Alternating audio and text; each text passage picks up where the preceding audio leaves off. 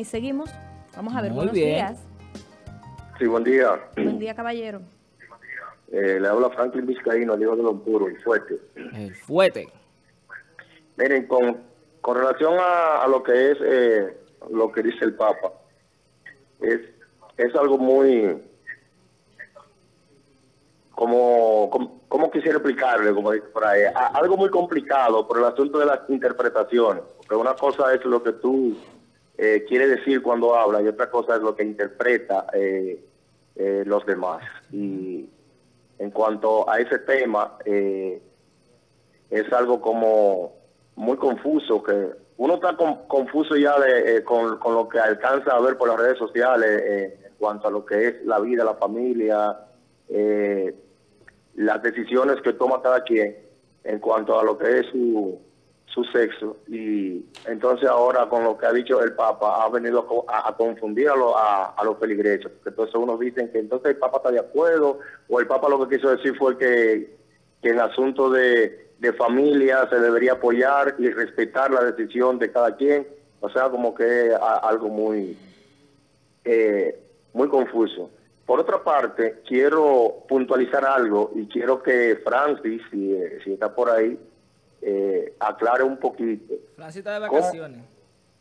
¿Cómo es posible que, por ejemplo, de- del ayuntamiento de San Francisco de, Macorís, entendemos que todo es un proceso, hay que presentar un presupuesto, esperar que los, que los regidores lo apoyen, hay conflicto dentro de- del ayuntamiento, eh, Francis lo sabe, como fue regidor por varios años, en, por varios pe- periodos en el ayuntamiento de San Francisco de, de Macorís, y también eh, hay que darle un, un tiempo para que los funcionarios pues logren, porque muchas veces se aprueba el presupuesto y entonces los los materiales que ellos van a comprar no no están en existencia y tienen que esperar que lleguen y, y esas cosas.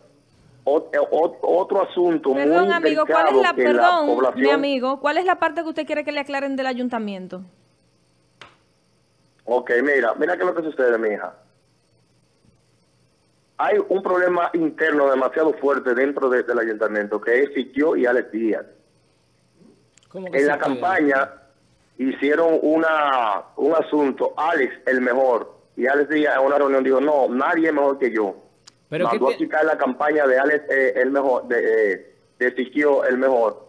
Y entonces, al parecer, Alex Díaz tiene una campaña de desacredito al ayuntamiento, a pesar de que son de- del mismo partido, porque Alex no quiere que nadie sea mejor que él ahí. Entonces hay un conflicto Pero en el Franklin, partido. Franklin, pero ¿qué tiene que ver Alex Díaz, el ex alcalde, con la gestión actual del alcalde Siquio ONG de La Rosa? ¿Qué influencia puede tener Alex si se supone que ya la gente que están ahí son la gente de Siquio? Ok, paso a explicar. Mira lo que sucede.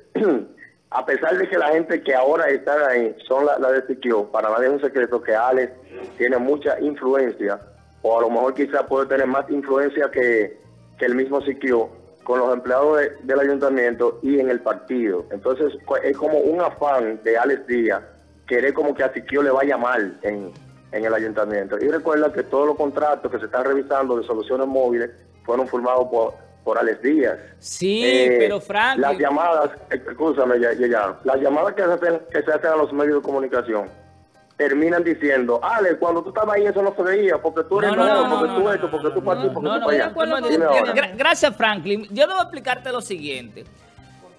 El mismo contrato que existía con, durante los cuatro años de Alex Díaz y Móvil Soluciones en el Ayuntamiento de San Francisco de Macorís es el mismo que hay ahora. Lo que pasa es que aparentemente cuando Alex Díaz había supervisión y aparentemente porque todo funcionaba de manera correcta, la ciudad estaba totalmente limpia, porque Alex Díaz, y hay que decirlo, salía detrás de los camiones a ver si era verdad que estaban recogiendo. Y eso quizás es lo que está faltando ahora. Eh, la persona que tenga ornato, porque tampoco tiene que salir el propio alcalde, para eso tiene una gente de ornato y limpieza que tiene que darle seguimiento a eso, a eso, es lo que tiene que hacer es funcionar y supervisar de que la compañía que está contratada para eso cumpla.